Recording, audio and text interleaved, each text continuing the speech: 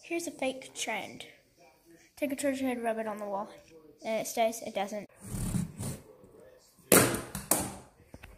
See, it does not work.